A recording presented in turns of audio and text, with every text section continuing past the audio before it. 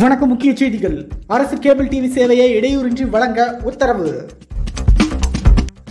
ஆக்கிரமிப்பாளர்களிடமிருந்து ரூபாய் மூவாயிரத்தி இருநூத்தி முப்பத்தி கோடி மதிப்பிலான சொத்துக்களை இந்து சமய அறநிலைத்துறை மீட்டெடுத்துள்ளது. அமைச்சர் சேகர் பாபு சற்று முன் தகவல்.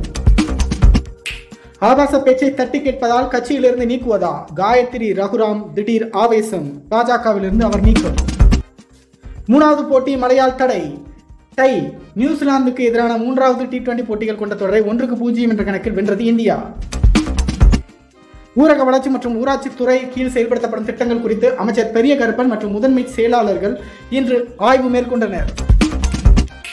வரும் இருபத்தெட்டு இருபத்தி ஒன்பதாம் தேதிகளில் திருச்சி அரியலூர் பெரம்பலூர் பெரம்பலூருக்கு முதல்வர் மு க ஸ்டாலின் வருகை தர உள்ளார்.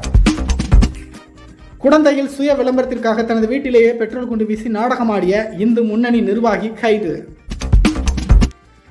நெல்லை மாவட்டத்தில் தொடர் கொள்ளையில் ஈடுபட்டு வந்த கொள்ளையின் கைது. நூற்றி முப்பத்தோரு சவரன் தங்க நகை மீட்கப்பட்டுள்ளது. மதுரை நகரில் போக்குவரத்து விதிமீறலில் ஈடுபட்ட நாலாயிரம் பேரின் ஓட்டுநர் உரிமம் தற்காலிக ரத்து. அதிரடி தொடரும் என போலீசார் எச்சரிக்கை.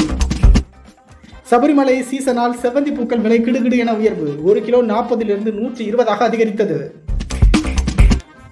குமரியில் இஸ்ரோவின் அறிவியல் அருங்காட்சியகம் அமைப்பதற்கான பணிகள் விரைவில் தொடக்கம். இஸ்ரோ முன்னாள் தலைவர் சிவன் அறிவிப்பு. சு வெங்கடேசன் எஸ்ரா உட்பட பத்து எழுத்தாளர்களுக்கு வீடு தமிழக அரசு. சற்று முன் அதிரடி அறிவிப்பு.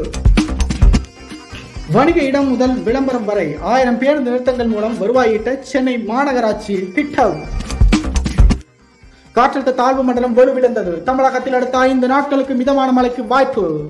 இத்துடன் இந்த செய்திகள் நிறைவடைகிறது. செய்திகளை உடனுக்குடன் தெரிந்து கொள்ள தமிழ் கிளவியோடு இணைந்திடுங்கள் நன்றி வணக்கம். வாட்சா